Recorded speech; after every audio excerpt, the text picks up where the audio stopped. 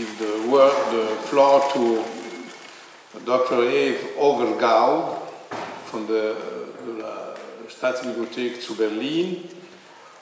Uh, I don't have uh, a title, but this is not necessary.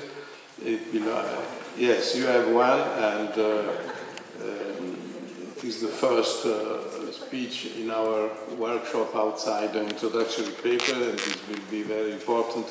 And it is to the section, the manuscript as cultural object description. Thank you very much.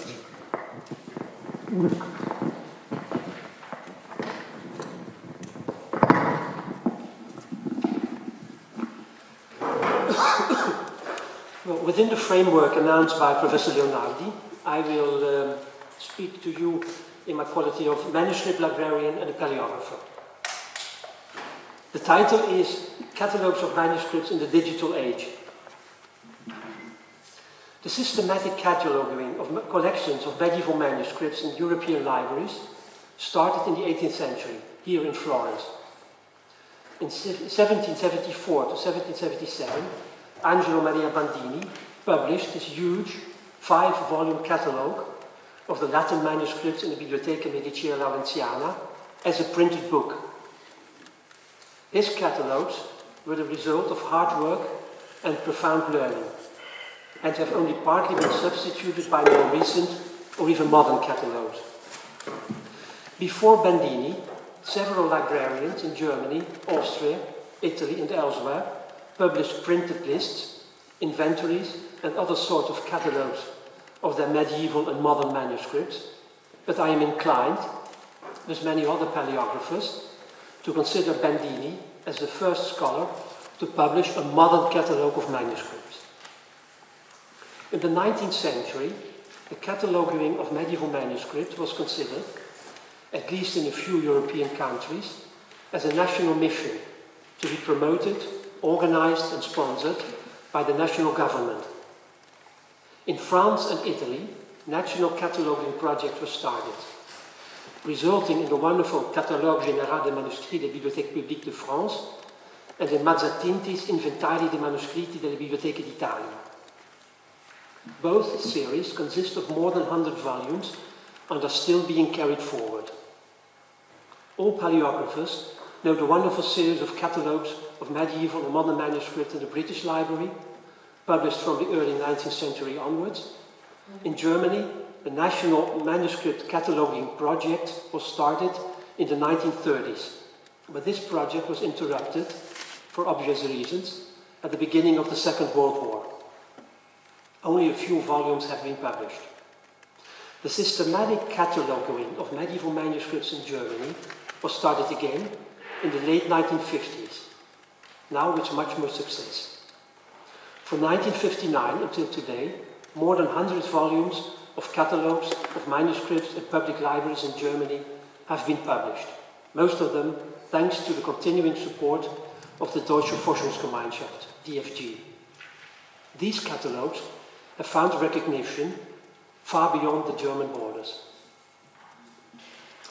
During the 20th century, there have been several debates and a fan number of important publications about how to make a good description of medieval manuscripts and about how to set up a catalogue of this particular kind of manuscripts and about how to make indices and about what we call today collection level descriptions.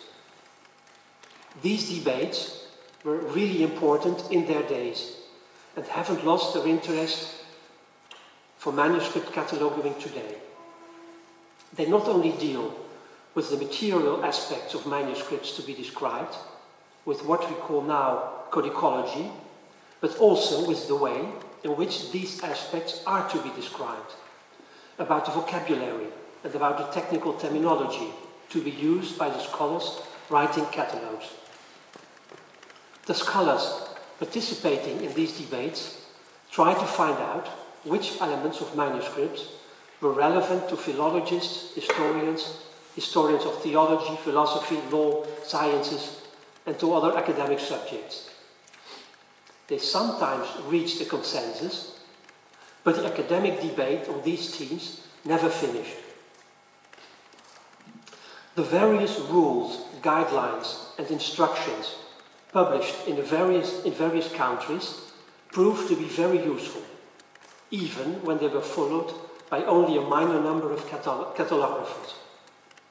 Some major libraries, such as the Bibliothèque nationale de France, made its own guidelines, whereas those published by the Deutsche Forschungsgemeinschaft in Germany are mandatory regulations for all libraries in Germany who would want to apply for funding for making a catalogue of medieval manuscripts. The guidelines used in Austria, in Switzerland, and in Sweden refer, openly or silently, to the guidelines of the German Deutsche Forschungsgemeinschaft. These German guidelines require three sections in the description of any medieval manuscript.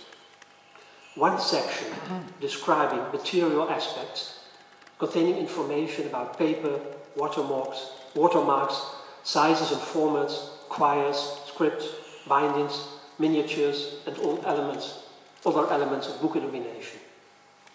The second section of a description deals with the history of the manuscript. It contains motivated notes on the dating and localization of the manuscript, referring to colophons, scripts, and scribes, as well as to, as to dated and datable texts. The dating and localization proposed by the catalographer require explanatory statements. The second section on the history of the manuscript also contained notes about the identity of scribes, illuminators, bookbinders, and other men and women who contributed to the production of the manuscript, but to former owners, private and institutional, as well, ex libris and other ownership marks, to old shelf marks, notes on sales, etc. as well. The third section of a description deals with the contents, with the text contained in the manuscript.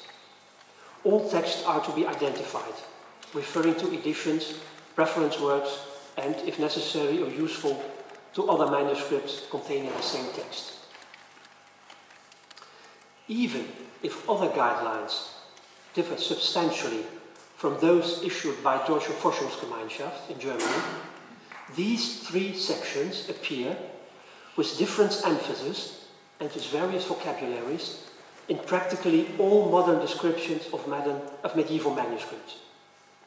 Some catalogues, modern catalogues, pay more attention to texts, others deal extensively with book illumination, others, especially in Germany, deal with many material, codicological, and historical aspects, but seen from a certain distance, catalographers agree on, let's say, 80% of the aspects to be considered in a good and full-fledged description of a medieval manuscript. There is no serious doubt among scholars dealing with medieval subjects about the usefulness of catalogues of medieval manuscripts. These catalogues are indispensable for all sorts of research dealing with medieval history in the broadest sense of the word. I guess there are between 600,000 and 750,000 manuscripts in public libraries all over the world, 90% of which are kept in Spain, Italy, France, German, German, Germany, in the Vatican, and in the United Kingdom. I would guess that descriptions of half of them are available in printed catalogues as well as in unpublished censuses and in inventories and in web publications. Less than 10% of all medieval manuscripts in Latin script are still kept in the places where they were written, read and kept until the year 1500. More than 90% was dispersed over hundreds of modern libraries, public and private, mainly in Europe, but also in the United States and on other continents. This dispersal started in the Middle Ages and continues in our days. As a result of systematic cataloguing, tens of thousands of manuscripts have been attributed to their scribes, scriptoria, and medieval owners. In this way, the cataloguing of manuscripts contributed to retract the dispersal of these manuscripts and medieval collections. at least virtually, within the covers of the body of catalogues of manuscripts, as well as in a great number of monographs, medieval libraries have been reconstructed. All the same, at the same time, the number of printed and handwritten catalogues has become so great, there must be several thousand volumes of this kind, that no scholar is able to oversee them all. Some distinguished scholars started to publish extremely useful bibliographies of manuscript catalogues. All scholars dealing with manuscripts know Kristeller's Latin manuscript books before 1600, a list of the printed catalogues and unpublished inventories of extant collections, continued by Sigrid Krämer and other German bibliographers. In the digital age, in our age, it has become obvious that this kind of bibliographies can best be published digitally and be made available on the web. At the same time, already in the 1980s, the idea has emerged that descriptions of manuscripts should no longer be published in printed catalogues, but in databases. The first initiatives to use computers for cataloguing manuscripts started some 30 years ago in France and in the Netherlands. From our actual point of view, these initiatives seem extremely primitive, but we should not forget that memory capacities of computers and the human sciences were extremely limited until about 20 years ago. Databases were available, but not with the same possibilities as today, and there were no authority files.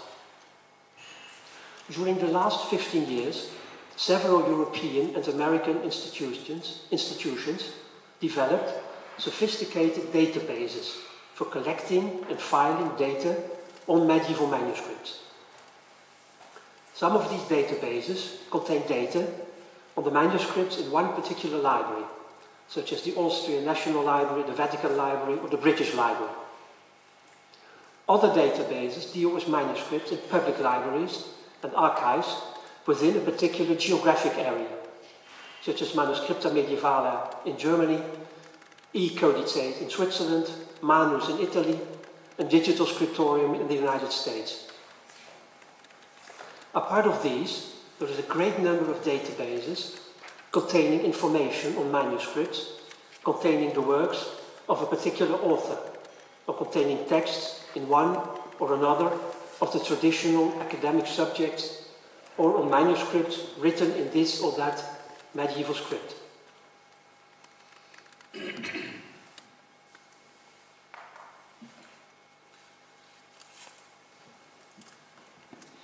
The extreme diversity of information available in the web is reflected in the diversity of information available on medieval manuscripts.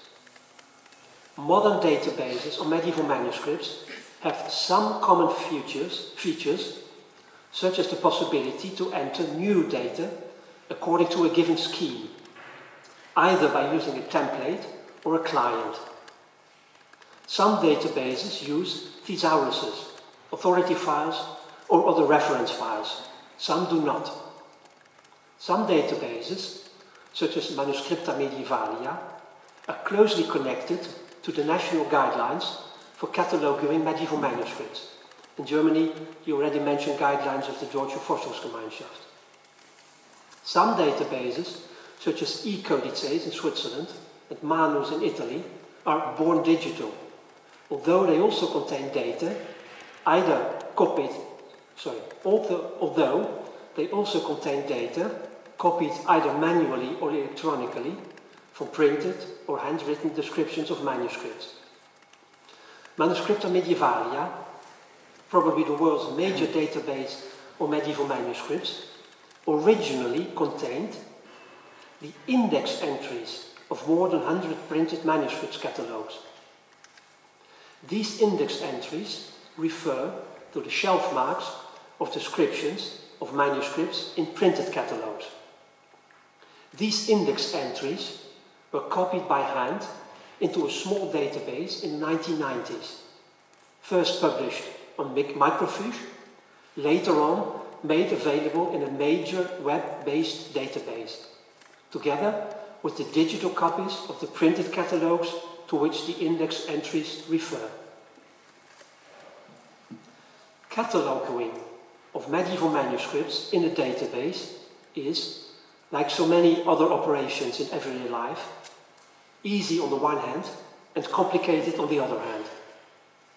It is easy as long as the number of elements of each manuscript to be entered into the database is limited, and as long as the structure of the template or the client is easy to handle.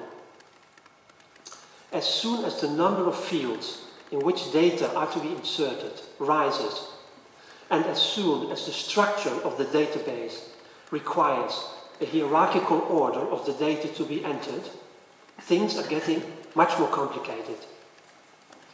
As long as the catalogue entries are restricted to formal aspects, to aspects you can count and measure, such as the size and the number of pages, the number of lines, or the year in which the manuscript has been written, making a digital catalogue is rather easy.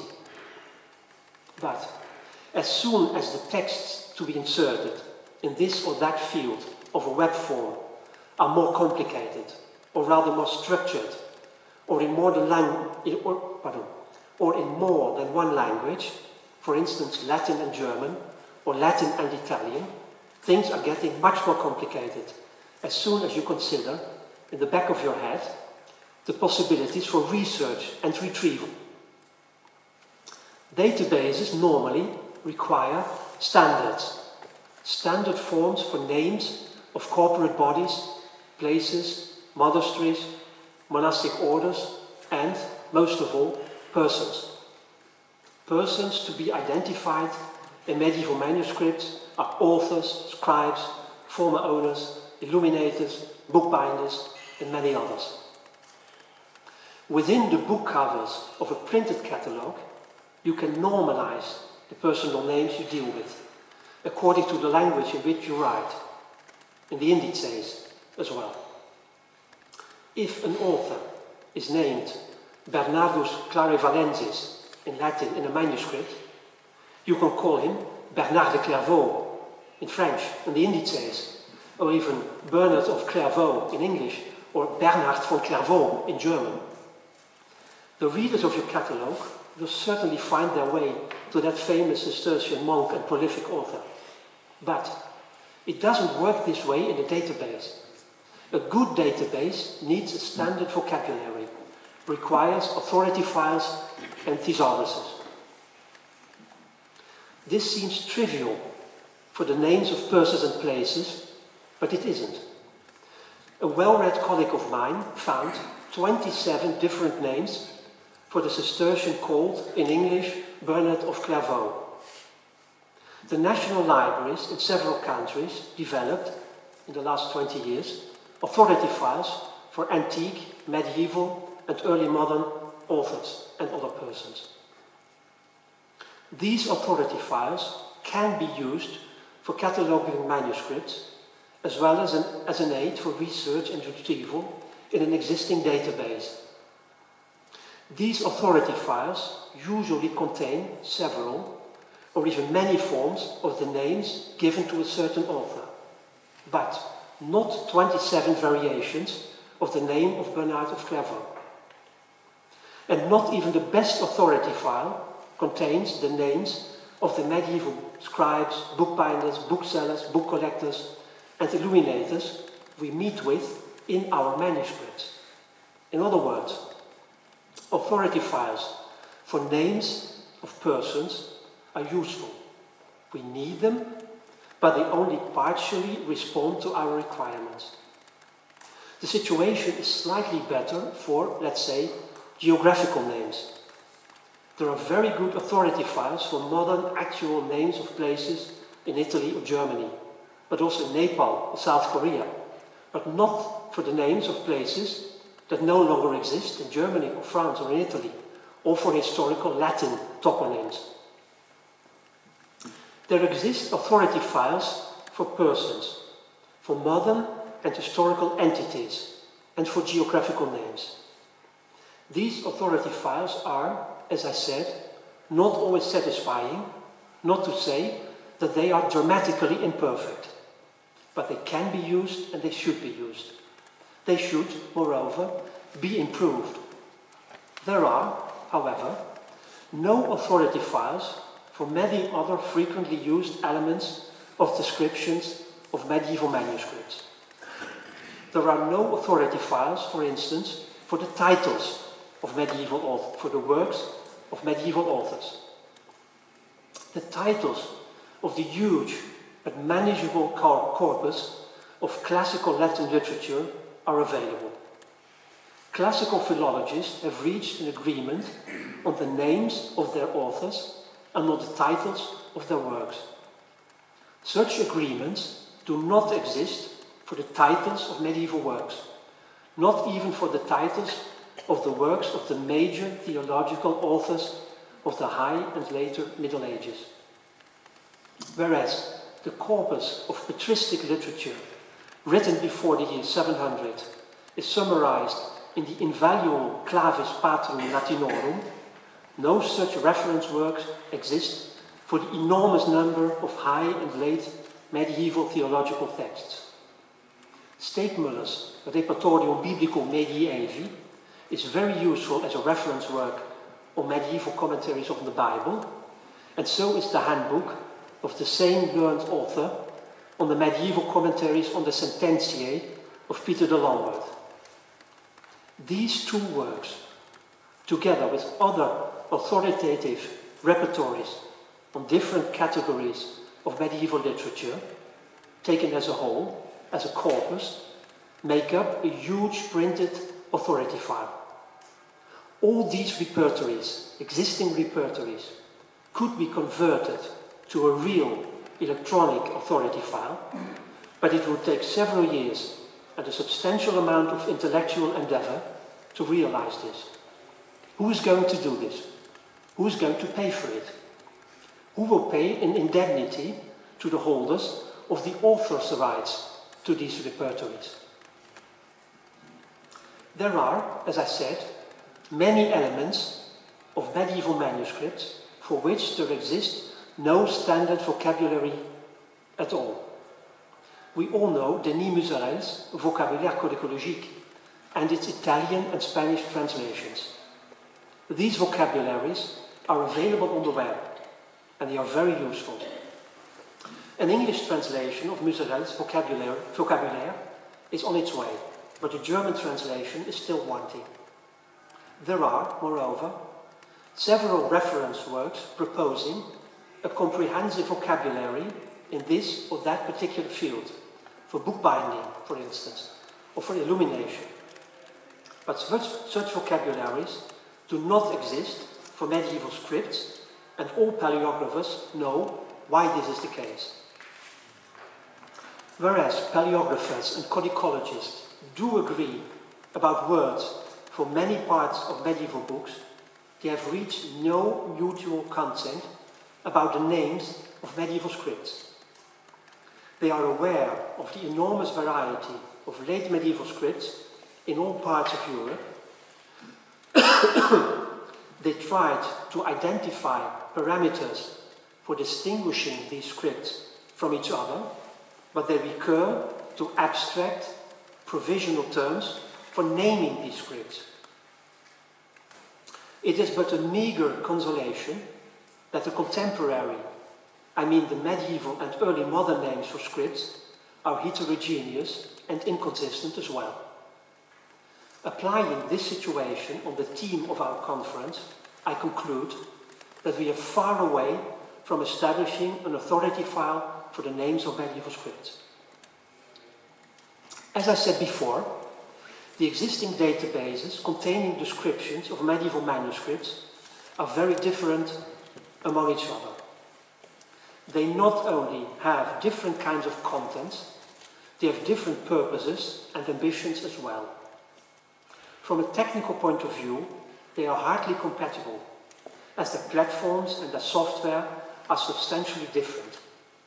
It is, therefore, not easy to make them communi communicate with each other.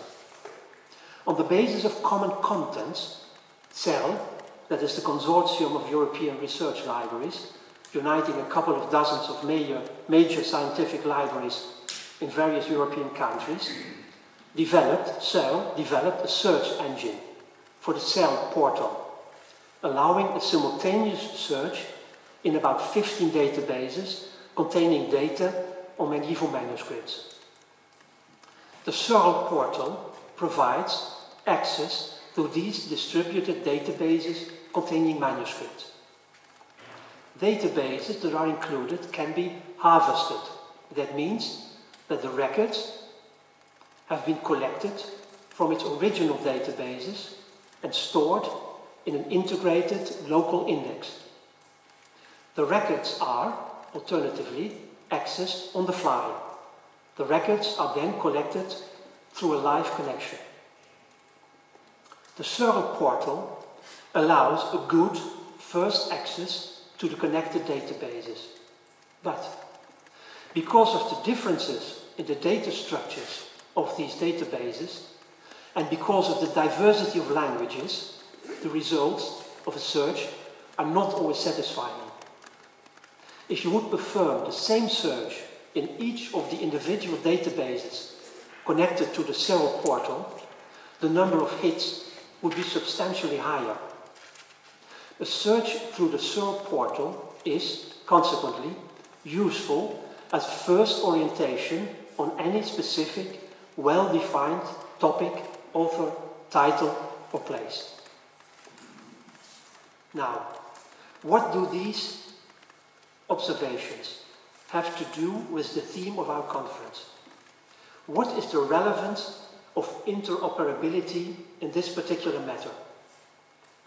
Interoperability is, according to Wikipedia, a property to the ability of diverse systems and organizations to work together.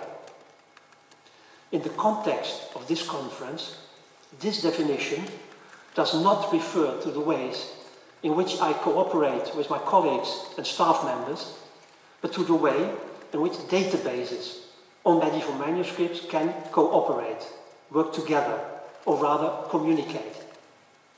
And if passive systems themselves cannot work together, or rather communicate, sorry, and if passive systems cannot work together, this has to do with communication. How can two or three or ten databases made to communicate? One way is a simultaneous search such as offered by the CERL portal.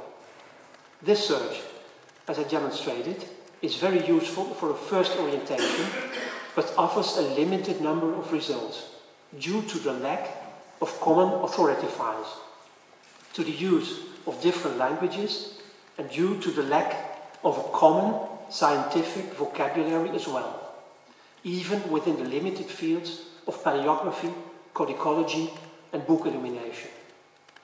Now, what has to be done to promote interoperability between databases on medieval manuscripts? First of all, each database should aspire towards homogeneity in its own use of names and of persons and places, of titles of works, technical and other terms. Those databases which, like Manuscripta Mediaevalia, copied their contents mainly out of printed catalogues, do not offer homogeneous contents. At least the names of persons, works and titles should be normalized. But this requires enormous amounts of time and a considerable intellectual input. If two names of persons appear to refer to the same historical person, one of these names should be modified into the other name. If, with the help of good authority files on the names of persons, 27 versions of the name of Bernard of Clairvaux can be made to refer to the same person, we have reached our goal until we meet with the 28th variant of the same name. This 28th variant should either be added to the file on Bernard of Clairvaux, to the authority file record on Bernard of Clairvaux, or be normalized. Serious, time-consuming research is required when two identical names refer or seem to refer to different persons. It should be made clear in the database as well as in the authority files that these two persons are not identical, although they have the same name. And this happens more than you would think. A rough estimate, only from Manuscripta Mediaevalia, arrived at about 200,000 names for 100,000 to 110,000 different men and women. It would take a very clever and erudite librarian two years' work and 90,000 euro to check all these names and to normalize them wherever it appears necessary. After that, there are about 40,000 titles of works by medieval authors, authors to be checked and normalized. The situation is, of course, much better in the case of descriptions of manuscripts which have been written directly into the cataloging software of Manuscripta Mediaevalia. The cataloging is supported here by the available authority files. No normalization is required in these descriptions. I already referred, however, to the names of medieval scripts in modern catalogues, as well as in paleographical papers and monographs. My colleagues counted about 250 names of medieval scripts in Manuscripta Mediaevalia. These 250 names may refer to 250 different scripts, but it is of course much more likely that the number of scripts to be distinguished from each other is far lower. In spite of all sorts of obstacles, we are seriously trying to promote the interoperability of Manuscripta Mediaevalia with other databases containing descriptions of medieval manuscripts.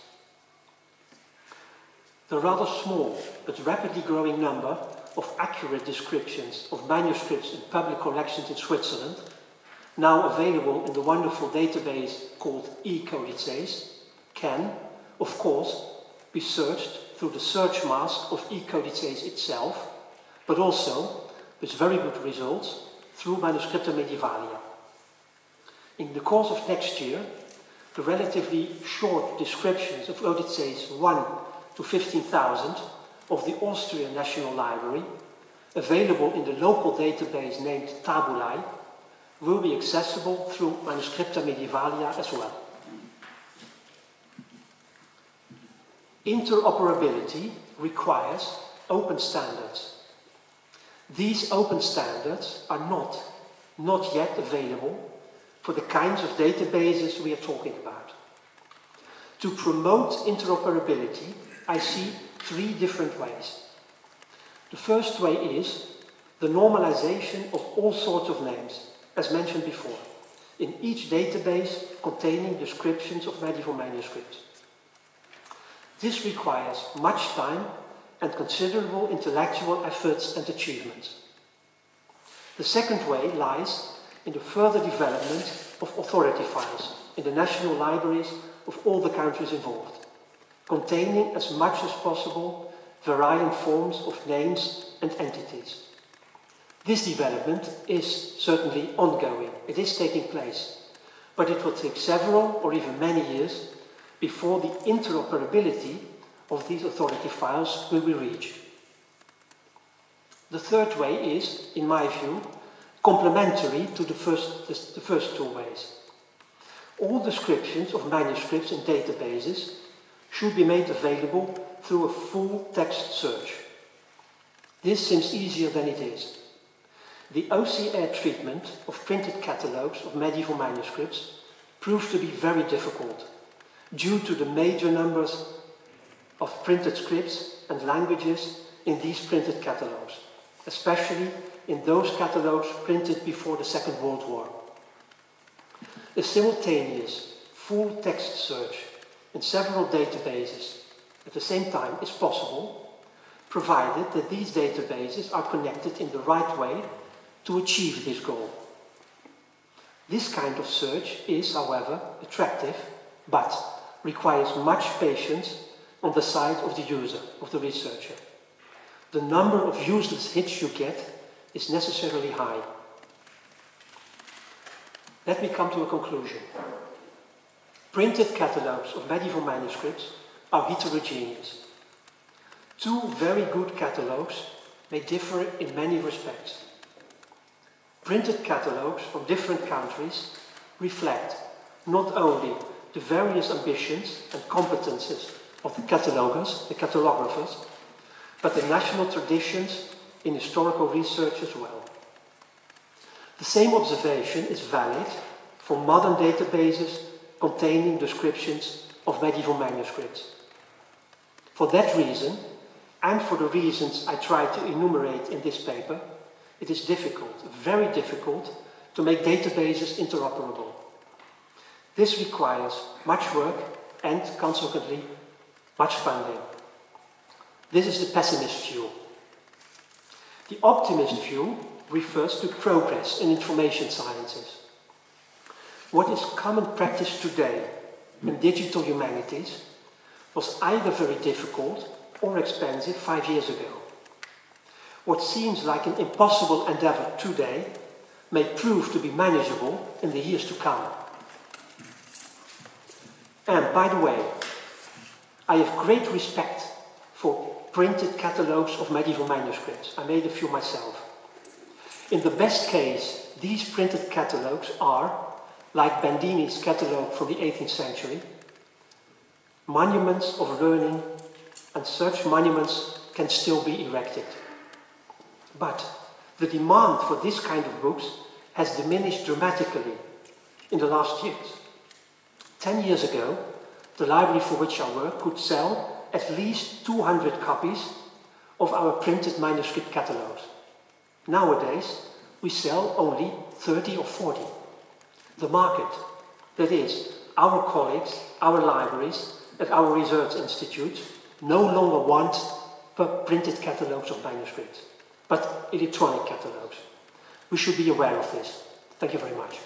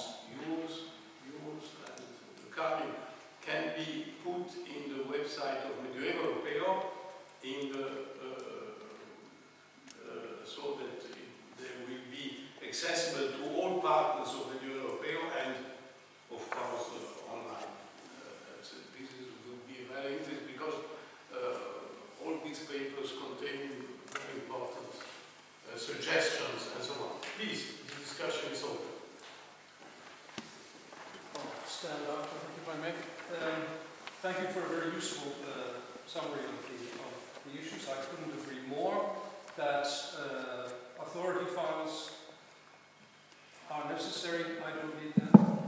I don't think. No, no, it's okay. Um, you, you didn't, well, uh, a lot of work has been going on for many years uh, on exactly these questions. And um, you didn't mention any of the work, at that I've been involved in, uh, so I feel that I probably should. Um, we started uh, with a meeting at Studley Priory, which is near Oxford in the United Kingdom, in 1997. A group of, very large group, about 40 people, manuscript scholars and librarians from all over Europe and North America in order to discuss this very issue. And one of the immediate results of that was the Master Project, uh, 1999 to 2002, in which my friend Zdeněk was also involved, uh, which was to define a machine-readable standard based on all the national standards uh, that we could think of. We had members from all cataloging traditions, and it was that, as you said, about 80% manuscript catalogers can agree on 80%.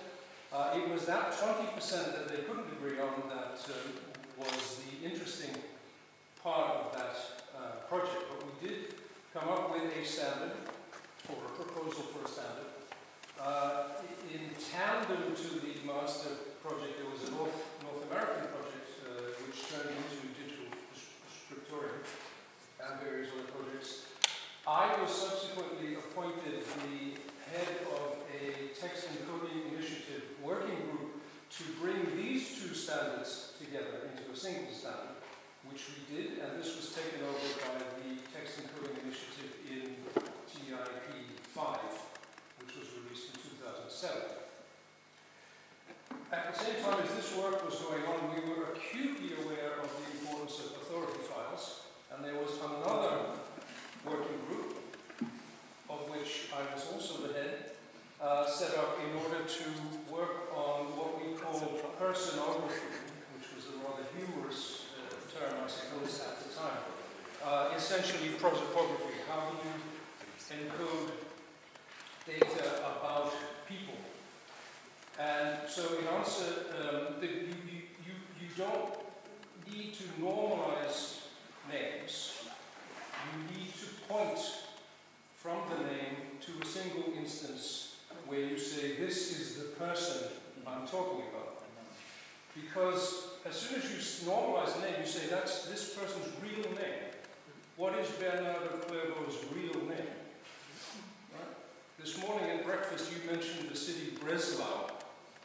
What's the real name of the city? Right, Breslau is a useful name. A Pole would tell you that it's in Wrocław, so it's, you know, and, and would get very angry.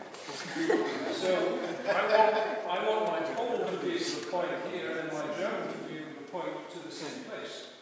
And we've done this, we have mechanisms for doing this in XML um, for persons, places, and institutions. Um, a huge problem, obviously, the vocabulary, standard vocabularies, but that is just something that is going to have to come slowly. We have um, book, bookbinders, um, or rather people interested in bindings, very special type of people, I find. Bookbinding enthusiasts, and they can argue for years on what something should be called or whether it's the same as something else. But they're doing it, and they're coming up with a standard. So all we can do, I think, is encourage groups who feel strongly about I agree, probably we will never get paleographers to agree, um, but they're a really special group of people, as, as you know. So anyway, my only point is that a lot of the things that you point out as being um, requirements for the kind of interoperability that we're talking about, the mechanisms are in place right? So the, the, the, the thing that we need to do is to encourage people to use these mechanisms rather than saying, oh, we have so many different standards, we should uh, work on how to uh, combine them. Um, the Text Encoding Initiative has spent 10 years um, coming up with these mechanisms which can be used. They can also be used, one of the things that we're working on, especially in Copenhagen at the moment, is um, how to describe manuscripts without using any words. Right? So there, there are, in, in the perfect manuscript description, there, are, there is no text. The text can be generated in any language you like on the basis of the markup, the XML, once you have these standard um, vocabularies. But the mechanism is there. We can make a completely wordless manuscript description, which you can view in Italian, in Dutch, in Arabic, uh, whatever. And I think that's that's the future. Is the uh, is the uh, textless textless data. Right. Okay. So but, but Will react to the last one. The question is from um, from the database point of view, or from the point of view of the desirability of interoperability, this is true.